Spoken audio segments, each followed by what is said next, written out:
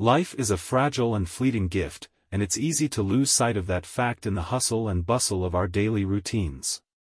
Sometimes, it takes a wake-up call to remind us that time is a precious commodity, and how we choose to spend it can make all the difference in the world. Today, I want to share a story that may challenge your perspective, ignite your sense of purpose, and inspire you to seize the moments that make life truly remarkable.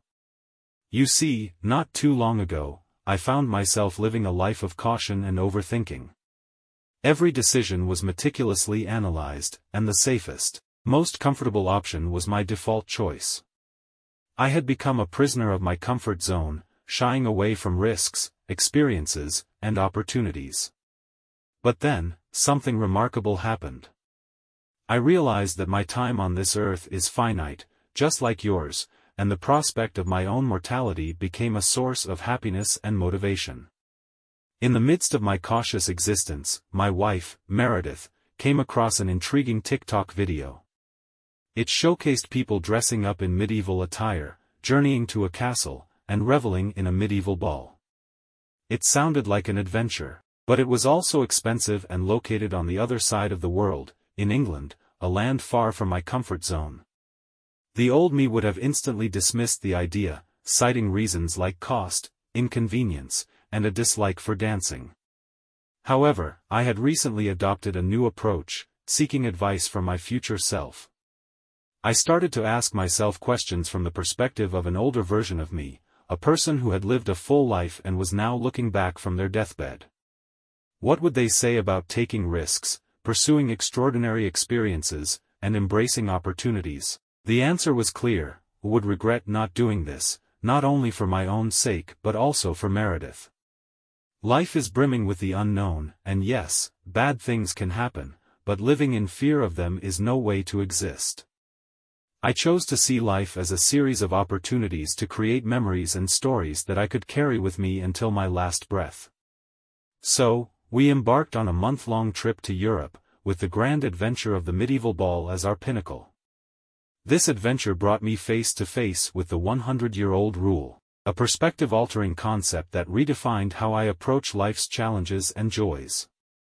Imagine, for a moment, that you're on your deathbed. The end is near, and your existence is about to fade away.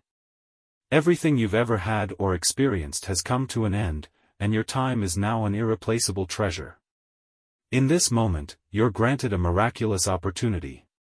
An angel appears, offering you the chance to travel back in time to relive your life, to make different choices, to cherish moments, and to savor the precious minutes you once took for granted. The 100-year-old rule asks you to hold on to that perspective in the present, to recognize the value of time while there's still time left to make it count. It's a simple yet profound shift in mindset that changes how you view life. It compels you to reevaluate your priorities and focus on the moments that truly matter, those that will be etched in your memory when your time is running out. This rule has become my guiding star, and it has transformed my life in three significant ways.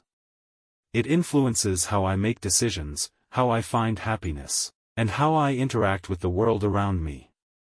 Firstly, it's changed my decision-making process. When faced with choices, I now consult my future self, imagining their perspective from the end of their life. If I were to return to this very moment, how would I want to live it? This question encourages me to take actions that create, inspire, and connect. I find myself more inclined to create something meaningful, whether it's making a video, writing, or spending quality time with loved ones.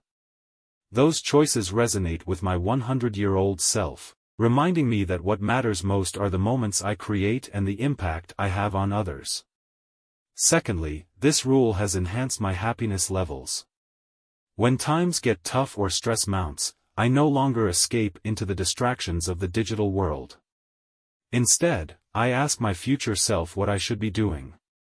If today were the last day I could experience this part of my life, how would I act? This question shifts my focus to the present and guides me away from trivial conflicts, pointless worries, and distractions. It urges me to be present, to soak in the beauty of the world, and to appreciate the people around me. Lastly, the 100-year-old rule has encouraged me to truly live in the moment. It's all too easy to prioritize the next day or the future over the present. As a result, I've missed out on countless opportunities to make meaningful memories.